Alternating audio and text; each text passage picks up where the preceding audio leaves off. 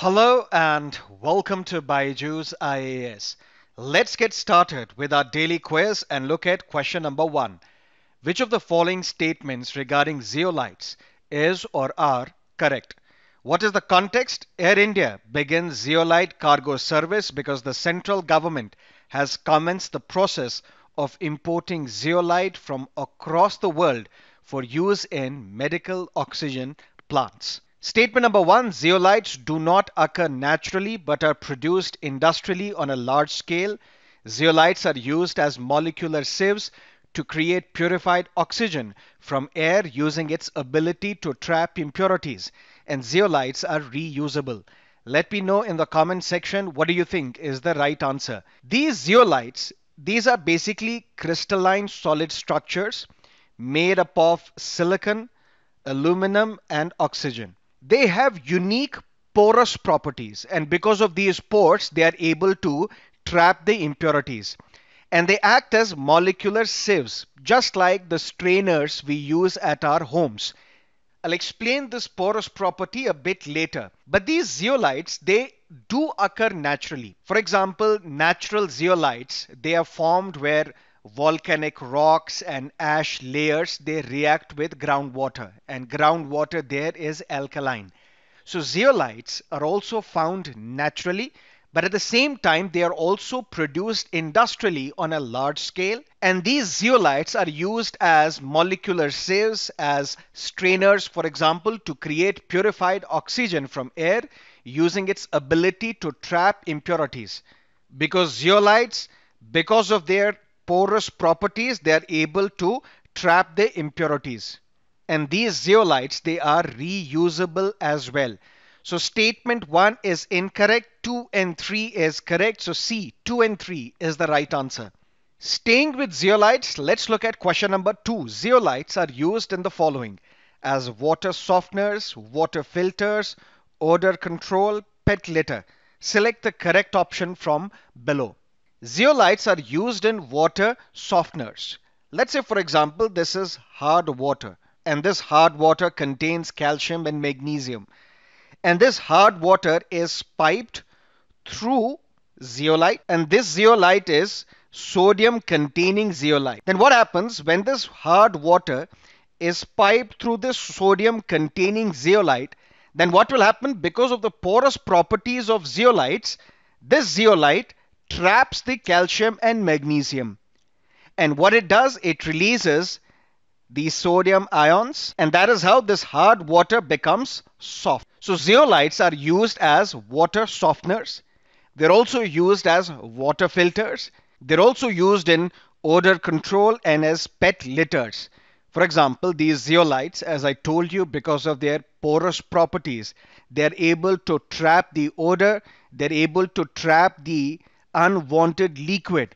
So zeolites are used in all of the above. D is the right answer. Now let's look at question number three. Consider the following statements. But first up, let's look at the context. Mars landing gives China's space program a leg up. Statement number one China is the fifth country to perform a successful soft landing on Mars.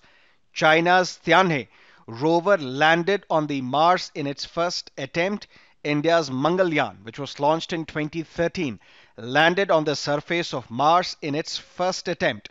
Which of the above statements is or are correct?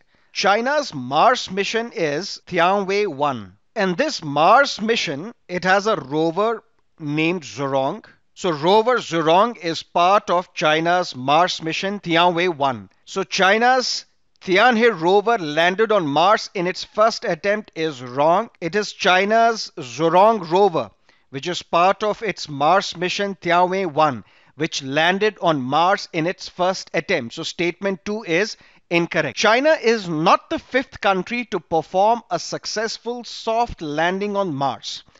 China is the third country. We have seen Soviet Union, United States, and now China, these are the only three countries to perform a successful soft landing on Mars. There was a Mars mission of Soviet Union which landed on the surface of Mars, but then the contact was lost in about 20 seconds. So we can say the mission of Soviet Union was partially successful. But then the mission of United States was fully successful and now China is the third country in the world to perform a successful soft landing on Mars. So statement 1 also is incorrect. India's Mangalyaan, which was launched in 2013, landed on the surface of Mars in its first attempt. This statement is wrong. Why? Because Mangalyaan did not land on the surface of Mars. It only entered into the orbit around Mars because Mangalyaan was a Mars orbiter mission, MOM. And there are five countries which have been able to reach into the orbit around the Mars. Soviet Union, United States, China, India, and recently United Arab Emirates as well. UAE became the first Arab country to enter into orbit around Mars. And UAE's Hope probe also became the second country in the world after India to reach the orbit around Mars in its first attempt. Now, what is this Tianhe? Tianhe is the first module of China's permanent space station. So all these statements are incorrect. D, none of the above is the right answer.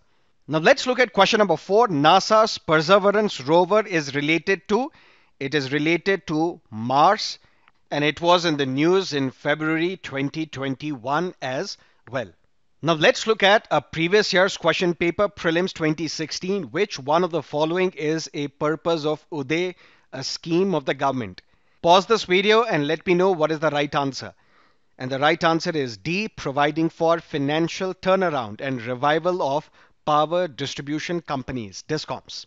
Now let's look at the fact of the day guidelines to adopt names of cyclones. Cyclones that form in every ocean basin across the world, they are named by regional, specialized meteorological centers and there are six such centers in the world. One such center is IMD, Indian Meteorological Department. And then we have tropical warning centers, and there are five tropical warning centers in the world. So these cyclones across the world are named by the regional specialized meteorological centers and tropical warning centers. There are six such regional centers. One such center is Indian Meteorological Department. But why do we adopt names for cyclones? Because it makes it easier for people to remember. It helps in a lot of other ways in disaster management, creating awareness, so on and so forth. The year was 2000.